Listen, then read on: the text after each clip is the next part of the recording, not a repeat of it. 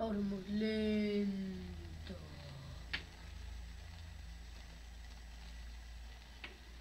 Que salga la palanquita para controlar la de esa.